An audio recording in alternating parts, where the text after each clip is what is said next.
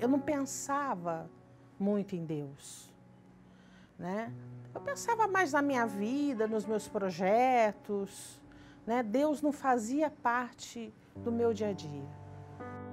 E eu sentia a necessidade assim de conhecer mais Deus, porque ele me conhecia, eu sentia que ele me conhecia, mas eu não conhecia ele o suficiente, mesmo eu buscando ele, buscando em várias portas, ia numa, ia noutra, ia noutra, buscando conhecer esse Deus que eu sabia que existia, mas não sabia que jeito ele era, e eu queria saber como é que ele era, né? queria entender a razão de tudo isso, de por que estamos aqui, para que Deus nos criou. Eu fiquei meio, meio paranoica com isso, sabe? Para mim eu estava entrando num processo meio depressivo eu não podia, porque eu sou pai de três filhos, sou casado, né? E eu não, não podia entrar em depressão naquele momento. Aí foi quando eu comecei a buscar algo para poder alimentar essas, essas coisas que eu tinha em mente, né? O que estava acontecendo comigo.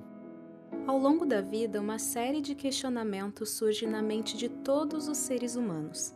Algumas dessas dúvidas exigem respostas complexas que demandam uma longa busca. Já outras soluções estão mais perto do que se imagina, pois podem estar dentro de casa em um programa de televisão. Eu cheguei até a Novo Tempo e às vezes parava um pouquinho, né, para assistir um programa ou outro, mas na verdade foi um programa que eu tive vontade de continuar assistindo mais vezes. Foi o Mira da Verdade. Eu gostava daquele formato de perguntas e respostas.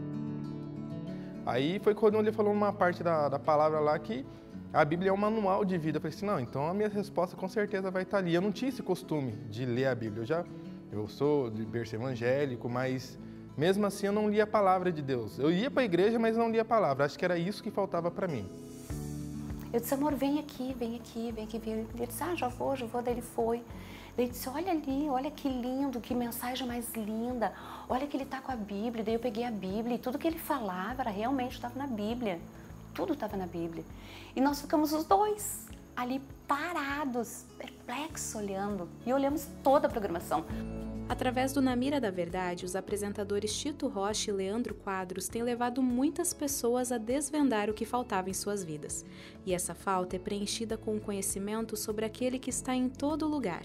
Essa falta é preenchida com o conhecimento sobre Deus. Tem muita coisa ainda que eu preciso aprender e qualquer dúvida que eu tenho, eu vou na palavra. Quando eu não tenho resposta para aquilo que eu que eu estou procurando, eu vou lá no programa, vejo os vídeos do Leandro, porque eu, é, tudo que eu tenho dúvida, eu procuro lá na, na internet, eu vejo nos programas na quarta-feira e ele responde ali. E o bacana é que o programa, o pessoal manda perguntas que é a nossa pergunta também, né? E acaba tirando todas as nossas dúvidas. Foi muito interessante. Foi daí que eu conheci a Novo Tempo e posso falar para você que mudou a minha vida.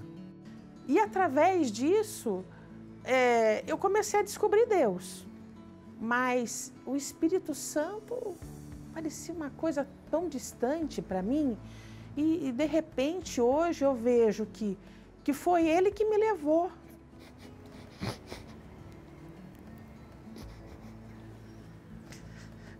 A, a Deus verdadeiramente, a conhecer Cristo.